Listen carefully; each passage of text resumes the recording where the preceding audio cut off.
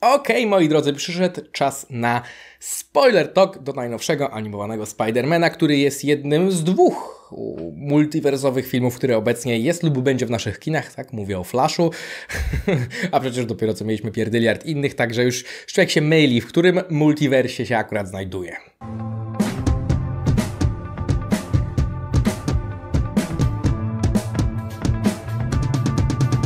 Więc tak, obejrzałem ponownie nie tylko dwójkę drugi raz, ale też jedynkę tak odświeżyłem przed, więc sobie taki mini maraton.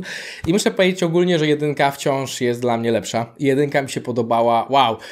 Mam ten sam problem, jak oglądałem pierwszy raz, to znaczy do pewnego momentu, do wkopania się trzeciego aktu, jedynka jest dla mnie 10 na 10 fantastyczna origin story, fa fantastyczna zabawa kreską i, i tak dalej. I, I, tym właśnie multiversem, tymi bohaterami, którzy się nagle pokazują, którzy są i zabawni, i ten, i, i ten Sp Spider Noir, Nicolas Cage, czy Świnka, czy tam John Mulaney mówi. Generalnie sztos. W trzecim akcie troszeczkę tak miałem znowu takie, e, po prostu wszystko mryga, dużo rozpierduchy na ekranie, więc nie jestem aż takim fanem, chociaż wątki podopinane dobrze. Także jedynka dla mnie 9 na 10, dwójce dałbym 8, dałem 8,5 w recenzji, ale koło ósemki, te, czyli uważam, że dwójka jest bardzo dobra, za drugim obejrzeniem też mi się podobało, ale mam problem, mam duży problem z tym filmem, znaczy duży to za dużo powiedziane może, ale mam problem z tym filmem dotyczący jego struktury, tym, że jest to film numer jeden z tutaj jakby nowej, jakby jest to druga część trylogii, ale teraz po tych pięciu latach jest to pierwszy z dwóch filmów.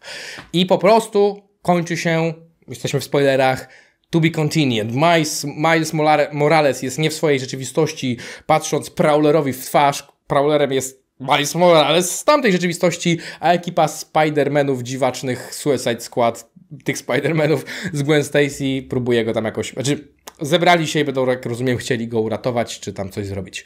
E, I oczywiście jest zagrożenie ze, względu na to, że Spot e, będzie chciał zabić jego ojca i jest to event, który musi się wydarzyć, albo cały wszechświat zginie, no takie tam, prawda, multiwersowe mambo jumbo. Mm, ale to jest dosłownie to be continued, to jest dosłownie no nagle mm, cliffhanger, jakbyśmy obejrzeli odcinek serialu. Także no muszę powiedzieć, że jako całościowy film, no jest to problematyczne dla mnie. No i oczywiście jak teraz drugi raz oglądając o tym wiedziałem, że tak będzie, no to nie miałem jakiegoś negatywnego zaskoczenia, no ale wciąż jest to niedomknięty film.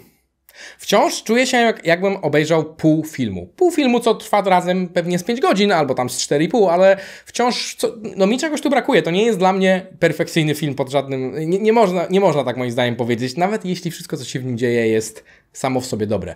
Zresztą nawet teraz się zastanawiałem, że drugi akt tego filmu wkopuje się po godzinie. Że praktycznie mamy tak, że jest Gwen Stacy, jej historia z jakieś 20 minut, potem e, Miles i jego historia, tam walka ze Spotem i tak dalej z 20 minut, po czym e, mamy tą rodzinną kłótnię, co tam ojciec, coś tam, prawda, ten awans, czy coś tam, czy imieniny, czy on co, co on tam ma, e, święci, temu tort niesie i, e, czy urodziny, i, i, i ten, i potem z Gwen Stacy on się widzi i tak dalej, i tak dalej, i tak naprawdę drugi akt się wkopuje, jak jest jakaś, nie wiem, godzina 15 na ekranie, jak, jak Miles wskakuje w, do tego portalu i jest przeniesiony do tej rzeczywistości indyjskiej, powiedzmy, tam gdzie ten indyjski śmieszny Spider-Man jest. Także mamy praktycznie, kurwa, godzinę 15 pierwszego aktu filmu i to czuć, że z jednej strony ten film ma takie, ja się w ogóle już w necie spotkałem ze sprzecznymi opiniami, że on albo jest bardzo powolny, albo że leci na łeb na szyję. A to jest właśnie takie, że on leci na łeb na szyję, ale przez to, że pierwszy akt jest rozciągnięty na ponad godzinę, to jest poczucie takiego powolnego, dobra, ale kiedy się wkopie jakiś ogólny, fabularny wątek, nie?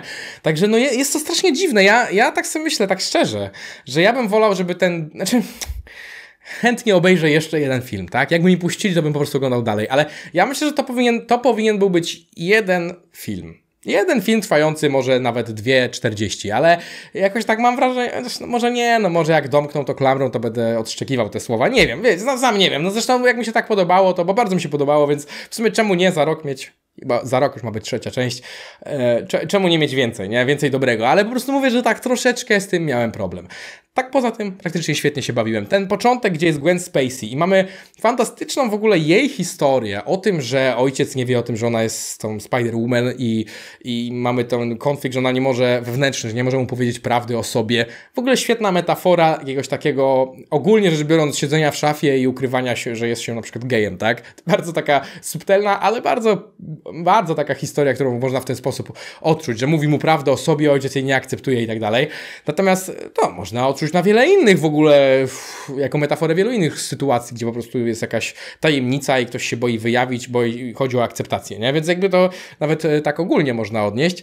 Natomiast było bardzo fajne to, te rozmowy z ojcem, e, podobnie jak relacja Milesa z jego rodziną, tak tutaj też myślę, że wszyscy czuliśmy oglądając tą Gwen, która, która czuje się samotna, bo nie ma nikogo, komu mogłaby powiedzieć prawdę. Miała tego Petera swojej rzeczywistości, który zginął i jakby był tym, tym jej miksem wujka Bena z tym, no jak się nazywał ten, co, z Toby Maguire, co Toby Maguire, jego kumpel, jak się nazywał jego kumpel, ten syn Nortona, sy, znaczy w sensie syn y, Green Goblina i potem też Goblin. No nie, w każdym taki miks, nie, że kumpel, ale z drugiej strony trochę taki wujek Ben, który umiera, nie? I ona generalnie wyjawiająca to ojcu i on nieakceptujący, potężne, mocne, krzywdzące i takie uuu, po prostu wow. Film też bardzo mocny nacisk na nią kładzie, że to nie jest ta, ta, ta, te dwa filmy nie są tylko o Milesie, są też o niej. Także to jest też interesujące, bo to tak jakby dwa filmy w jednym troszeczkę, no nie? Gdzie dwójka, tak jakbyśmy mieli dwójkę protagonistów w pewnym sensie. Także bardzo ciekawe, że nie działo się to na przykład, że ona przy okazji historii Milesa też miała taką scenkę. Nie, mieliśmy normalnie 20 minut jej poświęcone. Mamy bardzo fajną walkę z tym Volcherem, który jest jakimś papierowym rysunkiem z XVI-wiecznych Włoch, czy coś. W ogóle to jest fajne. To jeden z takich genialnych pomysłów, gdzie prawda, bawią się tą właśnie różnymi kreskami, w kreatywny sposób podchodzą do czegoś takiego. Widzimy też Spidermana właśnie tego O'Hare, tego 2099, całą ekipę i tak dalej i jakby wkopuje nam się to fabuła główna, tego, wiecie, tego, prawda, cytadeli Ricków, tylko cytadeli Spidermanów i tego, prawda, nie wiem, pilnowania timeline'ów, bo tutaj znowu wchodzimy w to trochę w Lokiego i, i to MCU ostatnio. No i mamy oczywiście też te sceny z ojcem, które nie tylko były takie heartbreaking, ale nawet tu czy na końcu filmu, jak już się godzą, bardzo fajny motyw, bardzo prosty, ale jakże działający, wykorzystywania kolorów, gdzie tam cały czas zależnie od sytuacji zmieniają się ich, ich kolory i tak dalej, się godzą czy nie godzą. No takie bardzo proste, ale fajnie, fajnie jak twórcy wykorzystują medium, jakim jest animacja w sposób, który normalnie ciężko uzyskać w zwykłym kręceniu live action, nie? Później mamy już naszego Milesa, Milesa, którego jednocześnie on walczy ze Spotem, mamy tą scenę akcji, że tam, prawda, Spot próbuje obrabować jakiś bankomat w, nie wiem, w żabce powiedzmy nowojorskiej, a ten znowuż, i tutaj jednocześnie mamy scenę akcji, wprowadzenie tego, że Miles ma, no, rodzice wciąż nie wiedzą, a narzucają mu, żeby poszedł na studia i tak dalej, próbują go tam do koledżu wcisnąć, czy do liceum. Nie, to chyba do koledżu, tak? Nieważne zresztą, w każdym razie jest główny motyw Milesa taki, że on cały czas próbują go gdzieś wrzucić w ramy, a on po pierwsze też nie ma przyjaciół, nie ma komu się zwierzyć z tego, że jest na co dzień Spider-Manem, jak ciężko jest pogodzić to życie, ale dodatkowo sam do końca nie wie, co chce robić, gdzie robić i tak dalej. Później wewnątrz filmu na sam koniec, jak ucieka Spider-Manom, jak powiedzmy trzeci akt się wkopuje, to ma takie zdanie, że dosyć, wszyscy mi mówicie, co mam robić i tak dalej, a ja sam jakby będę o tym stanowił, no nie? Także jest jakaś taka forma odnalezienia siebie, wzięcia odpowiedzialności za siebie i takiego próby odnalezienia siebie jakby kim jestem i co będę chciał robić, nie? Więc też bardzo ciekawy taki coming of age, nie? O takim nastolatku dorastającym. Dotyczy to nas wszystkich, niezależnie od wieku. Także bardzo ciekawe. A jeszcze z poziomu Spidermana, gdzie jestem taki fajny, wiecie, właśnie, że musi wciskać rodzicom kids i, prawda, tam spóźnia się do dyrektorki, a ratuje świat. I humor też z tym związany, że prawda, on tam, no nie muszę tłumaczyć, dużo to było zresztą działającego humoru przez cały film. Mm, no i po tym jak on z nim walczy, mamy też ten fantastyczny a propos humoru i kreatywności ze światem, ten spot, który jakby tam się zamienia w, znaczy wchodzi tak jakby w siebie, nie wiem, i, i jakkolwiek to nazwać, i zagląda do różnych rzeczywistości. Mamy ten dowcip z Lego, fantastyczny, gdzie potem ten Batmanik Lego piu piu i, i gada z tym Ocharą i tam piu piu, bo tam wiecie, to są Lego i nie ma prądu i tak dalej, więc uśmiałem się. To są fantastyczne momenty. Jest easter egg, jak tutaj jakimś tam Chinatown zagląda, to rozumiem, że to jest to Chinatown z Venoma i gdzie jeszcze tam zagląda? No jeszcze tam jakieś innej kreski, prawda, tam starych komiksów.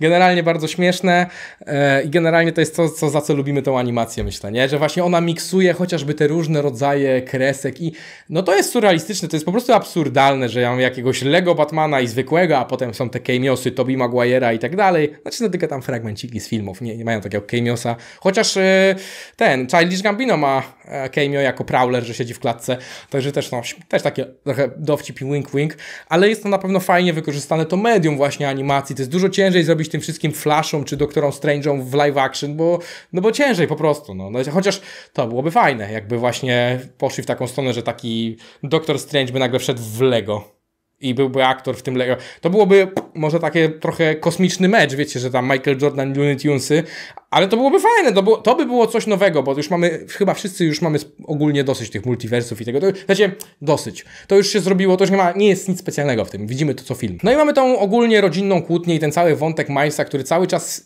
jest na włosku to, żeby wyjawić ojcu czy rodzicom, że jest Spider-Manem. No to będę nie wiem, czemu tego nie zrobił, bo przy Gwen ten ojciec ją ściga, znaczy policjant ściga Spider-Woman, a tutaj jego stary generalnie współpracuje ze Spider-Manem. Nawet mają tą rozmowę, że on nie wie, że gada z synem, nie? Więc tak troszeczkę nie wiem, tutaj myślę, że łatwiej byłoby mu powiedzieć, skoro i tak ojciec wie, że Spider-Man jest dobry. No ale im tego cały czas nie mówi, boi się odrzucenia, boi się, prawda, prawdy, boi się prawdy. E, I co? Mamy tą reunion Gwena właśnie z nim, gdzie znowu myślę, że dzięki tej powolnej podbudowie tego, że ci ludzie są samotni w tych swoich tajemnicach, myślę, że od razu się robi ciepło na serduszku i myślę, że wszyscy jako widzowie czujemy po prostu tych ludzi. Jak ona się pojawia w jego życiu, to mamy taki moment, o mój Boże, ktoś, kto go rozumie, nie? Ale fajnie, jakby im się udało być razem. Albo nawet po przyjacielsku, ale żeby po prostu nie, że Myślę, że my wszyscy z perspektywy widza, mimo że oglądamy animowaną bajkę, to czujemy tą samotność i taki po prostu chęć drugiej osoby poczucia, która będzie rozumiała. Także to jest co ciekawe, też uniwersalne, bo czasem tak może być w życiu, że ktoś nie rozumie, co przechodzimy, jakieś, nie wiem, na przykład depresję mamy, czy, czy cokolwiek innego i, i, i po prostu chcielibyśmy kogoś, kto by zrozumiał, nie? I to właśnie tutaj na podstawie Spidermana to widzimy, ale hej, jest to uniwersalne.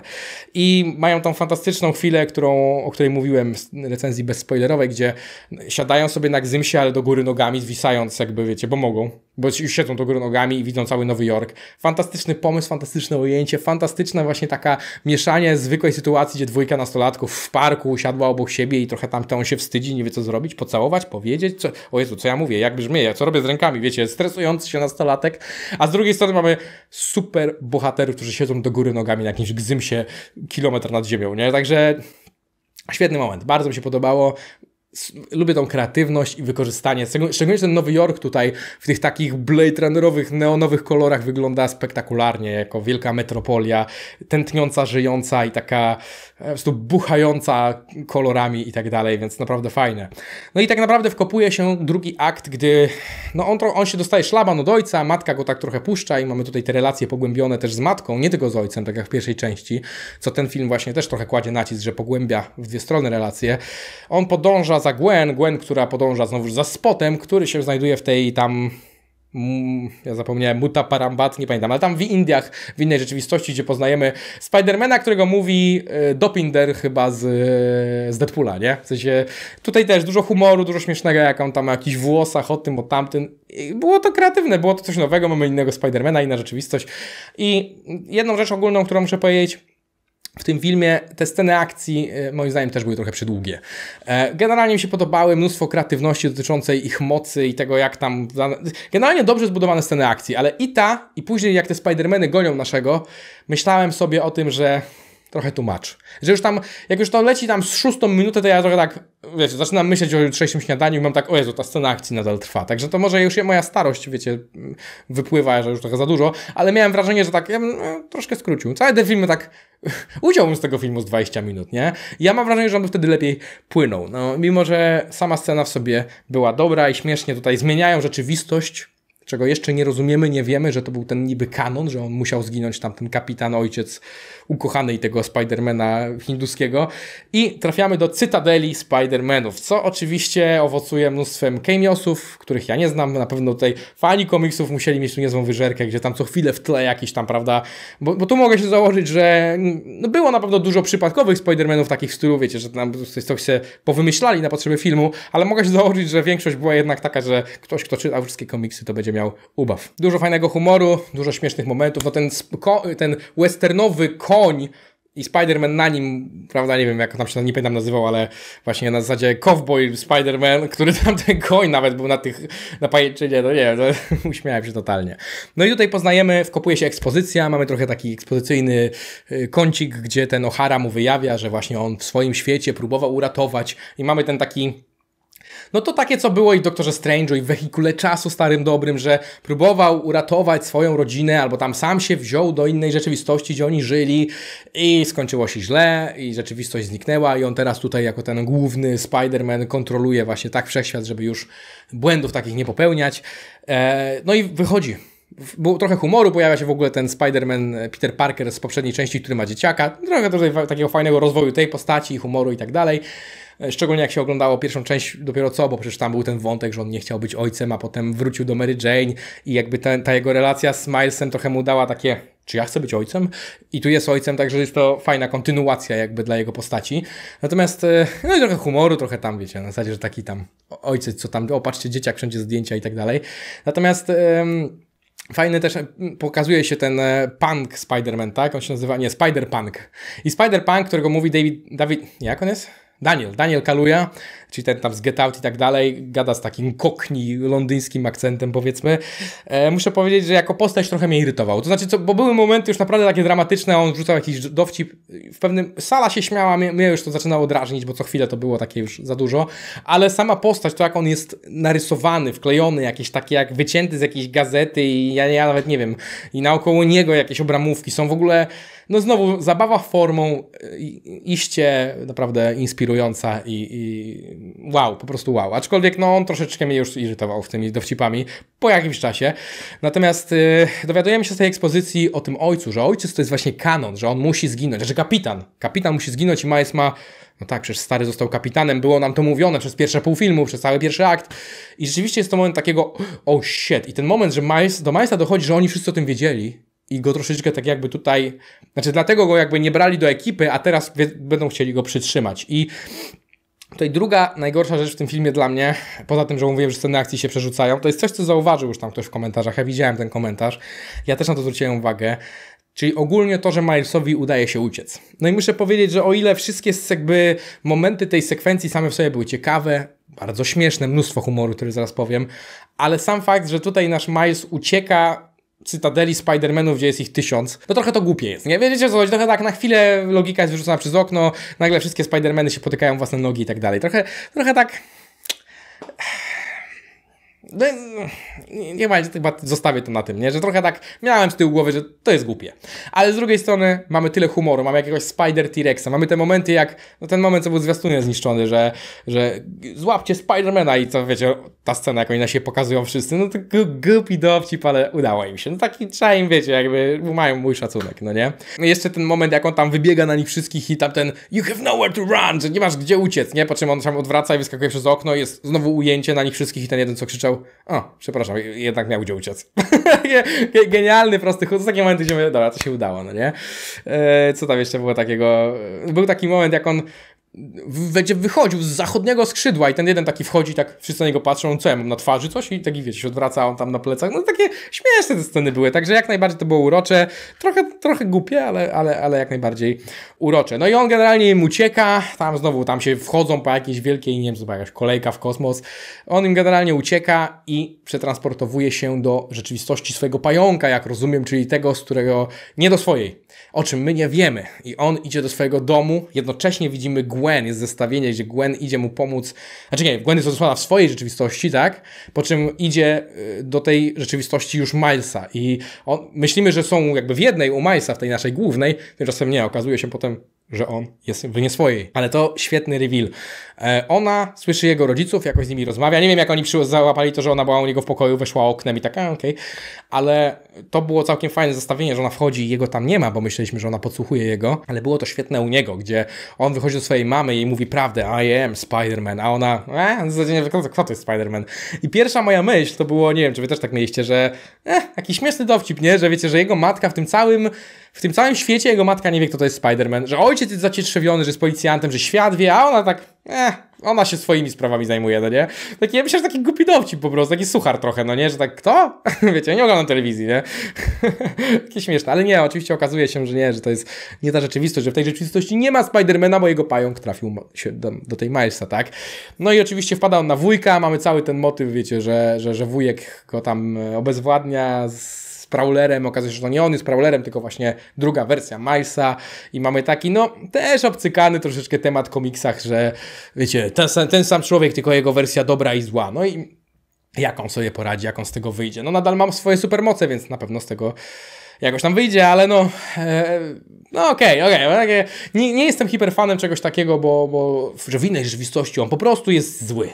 E, okej, okay, trochę to nudne, ale sam twist takiego, że leci uratować ojca i tak dalej, a to jest w ogóle nie w tej rzeczywistości i ten w spoko. Miałem tutaj mega, mega taki vibe Powrotu do przyszłości 2, gdzie Marty się już cofa. Myślą, że naprawili przyszłość, ale Biff ukradł im almanak i, i idzie do rzeczywistości na zasadzie, co jest kurwa, jakieś wszędzie zniszczenia i takie wiecie, to miasto, ta wersja przyszłości, w której Biff został tam prezydentem czy kimś i, i miliarderem i tak dalej, więc generalnie to miałem taki vibe, także tak mówię, powrót do przyszłości, jak uroczo, no nie?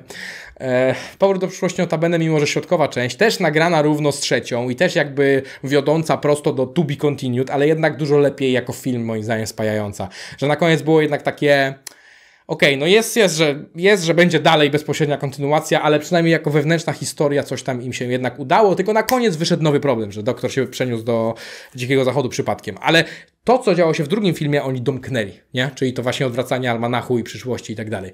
Także tutaj, no, powrót, to jest właśnie przykład dla mnie, jak taki film mógł wyglądać, że jest świetną częścią trylogii, ale, ale też jest solo filmem, nie? Wiadomo, no, z jakimś tam czymś dalej, ale jednak wewnątrz historia się dopełniła. A tutaj jest wszystko rozgrzebane i zostajemy z takim, uuu, cliffhanger. Także... No tak, także w sumie tyle. I powiem wam, że jak patrzę, ze 20 minut gadam. E, jak teraz oglądałem ten film, jak zrobiłem sobie notatki po filmie o nim myśląc, to on, on tak naprawdę, jak nawet zobaczcie po tej ilości mojego gadania, że to nie jest 50 minut i 500 mniejszych wydarzeń, tak naprawdę ten film mógłby być spokojnie skrócony i mógłby być połową po prostu 2,5 godzinnej dużej produkcji. Także moim zdaniem będę trzymał się tej opcji, że moim zdaniem to byłby lepszy jeden, jako jeden film, ta dwójka i trójka. Z drugiej strony trójki jeszcze nie widziałem, więc też no, może tam będzie tyle naćkanych wydarzeń, że to było niemożliwe. Nie wiem, no nie. Natomiast tylko mówię, że mam, mam pewien strukturalny problem i ta historia z drugiej strony też, żeby nie było, że narzekam, można też znaleźć w tym plus, że wszystkie te sceny, tego właśnie 20 minut na początku Gwen, 20 minut e, Milesa, jakieś tam rodzinna impreza kłótnia z ojcem, to są sceny, w których my oddychamy. Bohaterowie są budowani, film oddycha, daje im jakby stworzyć te relacje, rozwinąć je, daje nam zrozumieć tych bohaterów, co czują, co myślą, czego się boją. Także to też jakby, no to wiecie, to, że film nie pędzi, bo mogło być tak, że jakby zrobili to, tak jak mówię, nie, że jeden długi film, to mogło być tak, żebyśmy przelecieli w 20 minut przez to, przez tutaj, przez godzinę i na zasadzie nie byłoby czasu nawet się zastanowić, byłoby o, o, chaos totalny, tak jak ja teraz szybko mówię, no nie. Także może, może Zojga Złego lepiej powoli i siąknąć, szczególnie, że animacja jest super, aktorzy głosowi super, wersji angielskiej, w polskiej nie oglądałem, pewnie też, że dużo fajnych pomysłów, wiecie, komediowych, kreatywnych naokoło multiversum i tak dalej. Realna stawka dotycząca utraty tego ojca kapitana i tego, nie wiem, albo Gwen mówiącej o swojej osobie, ojcu i tak dalej. Także znowu, to co mówię przy wszystkich tego typu filmach dobrze jest zrobione. Trochę CGI-owej rozpierduchy, no to wszystko jest CGI, ale trochę rozpierduchy i komiksowej zabawy, trochę humoru, trochę indywidualnej stawki, gdzie kibicujemy bohaterowi, bo wiemy, co może stracić, rozumiemy jego emocje, uczucia i tak dalej. Generalnie bardzo dobry film, dostaje ode mnie nadal ósemeczkę. Polecam dalej, chociaż no jeśli ktoś dotrwał do końca spoiler toku, to chyba, to chyba już nie muszę. Czekam na Wasze opinie, piszcie śmiało spoilerowo, zgadzacie się, nie zgadzacie się, podobało się, bardziej, mniej. W większości się podobało, więc myślę, że w większości się zgadzacie. E, podejrzewam, że tym, ci, co się mega wkręcili w świat, nawet, nie, nawet by nie wiedzieli o tych rzeczach, co ja mówiłem, że coś tam pierwszy akt trwa godzinę. Jeśli się dobrze bawiliście, jeśli lubicie bohaterów, kibicujecie im, jeszcze to dobrze wygląda, to po prostu działa. Także ja się zgadzam, ja się zgadzam, ja sobie marudzę, bo lubię, ale, ale to jest bardzo dobry film i tak, mam, generalnie, jak już nawet zakończą tą trylogię w tym stylu, ja poproszę więcej od tych ludzi. Dzięki bardzo za uwagę i do zobaczenia w kolejnym Ponarzekajmy o filmach.